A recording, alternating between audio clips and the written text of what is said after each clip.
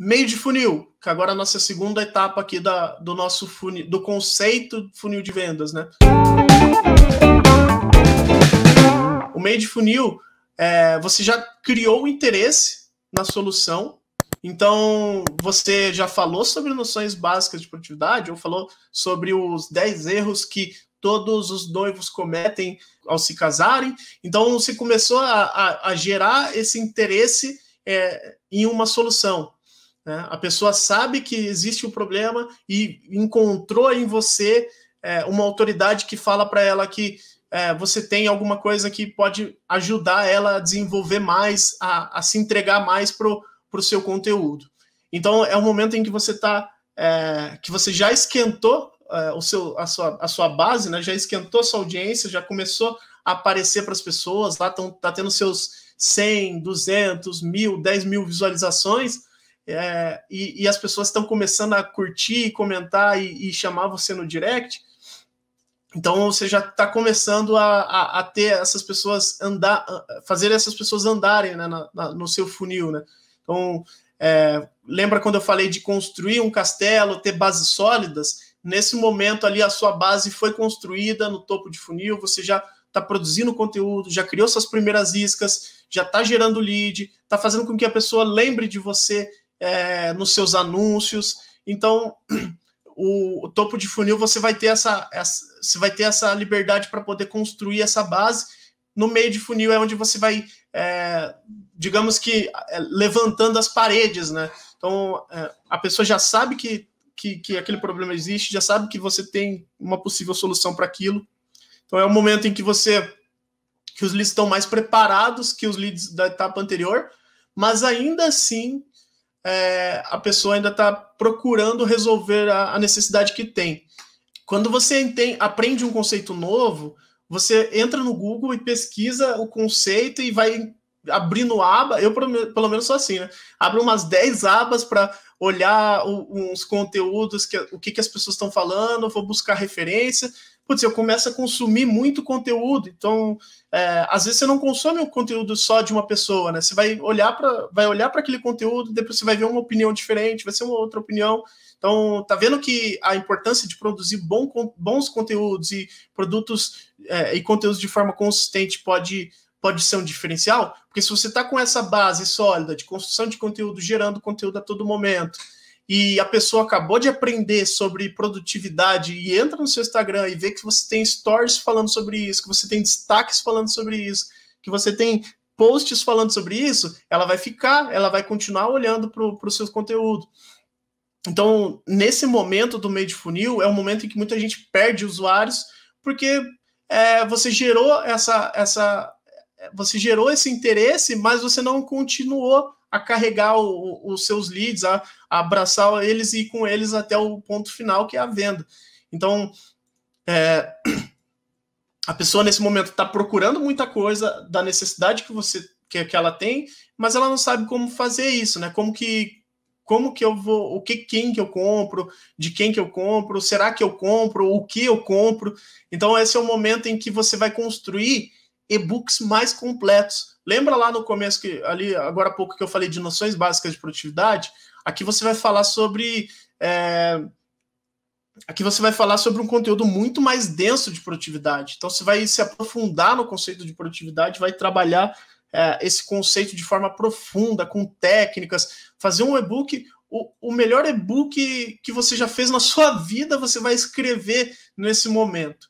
Então, é, aqui no meio de funil é onde é onde está, por exemplo, o e-book que a gente deixou aí para vocês baixarem na descrição. Ele é um e-book em que é, de, de, depende também do público, tá? Da perspectiva do público, do problema e da dor. Mas ele é um e-book que, para muitos usuários, ele é meio de funil.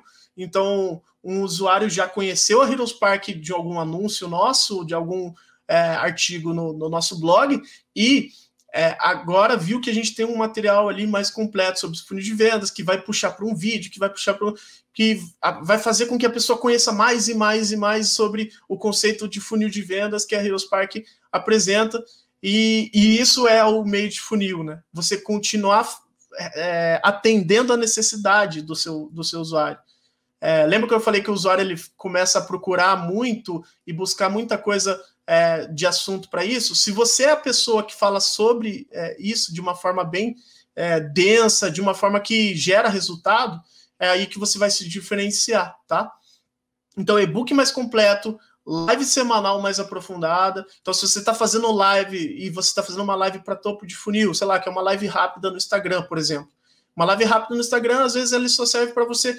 Ele só, só não, mas ele serve para você conseguir entregar seu conteúdo, é, mostrar de formas é, básicas ou de, umas, de maneiras gerais sobre os conteúdos. E meio de funil quando você aprofunda um pouco mais nessas lives, tá? Lançamentos também são é, muito utilizados para você trabalhar esse, esse interesse, é, é, esse desejo né, de compra. É, mas lançamentos, que eu digo, quando você faz lançamentos com lives, tá? Então vou mostrar aqui para vocês como que funciona lançamentos assim com lives aqui dentro da, da, da Heroes Park, tá bom? É, então aqui você vai ver um funil de lançamento, né? Fazer um lançamento, por exemplo. O funil de lançamento você pode trabalhar ali topo, meio, fundo de funil. Pode, vai depender do, do que você vai entregar, do conteúdo que você vai entregar, da pessoa que está visualizando. Então, por isso é importante você entender seu público, entender a sua, a sua estrutura de conteúdo, tá? O, novamente, o, para falar sobre coisas mais profundas do nosso tema aqui de, de funil, é, tem o link aí que, que o time deixou no, nos comentários para você baixar o e-book de funil de vendas. Lá você vai conseguir entender essa parte de, de depende que eu estou falando, tá? Principalmente essa parte depende do seu público, depende do. do então você vai entender lá. É, mas para nossa nossa exemplificação aqui, eu vou usar o funil de, de lançamento. O funil de lançamento, é, ele é um pouco maior, né? Então você consegue observar que ele tem mais etapas. É, não necessariamente você precisa trabalhar com todas as etapas do funil, tá? É até um, uma dica aqui para você. Você não precisa é, utilizar essas páginas se você não quiser. Se você não quiser trabalhar com o vídeo de vendas, porque às vezes você só quer é, construir um, um, um, lançamento e gerar essa transformação no usuário sem fazer uma oferta, não é bem recomendado, né? Eu sempre recomendo que ao final você gere uma oferta, mas é, se você quiser chegar até aqui, você pode construir o seu funil até aqui só. Então, é, o funil aqui da, de lançamento, ele funciona da mesma forma. Então, ele tem os e-mails pré-programados aqui. A minha dica, se você for usar esse funil, é revisar os e-mails, se fizer sentido para o que você está oferecendo, né? E ajustar os, ajustar o momento do disparo. Tá vendo que ele está com o momento de disparo envio imediato? Então, se você não quer que o seu usuário receba todos esses e-mails de maneira imediata, você ajusta aqui o time, tá? E esse aqui vai depender um pouco de quando vai acontecer o seu lançamento ou de quando que você vai fazer essa semana, é, essa, essa sequência de lives aqui. Então, por exemplo, se eu for fazer minha live na semana que vem, começar é, eu, vou, eu vou, posso colocar aqui para começar a disparar os, os, primeiros e-mails na próxima semana. Ou, se eu quiser, é, após um dia depois que a pessoa se cadastrou no, no, no meu lançamento. Né? Então, eu consigo ajustar. Então, eu lembro que, lembrando vocês que é, é ajustem aqui os que fizer sentido para o seu negócio, que você não quiser utilizar, é, você pode descartar também. Vai um pouco de conhecimento assim que você tenha também de, de copy, de estratégia de e-mail, tá bom?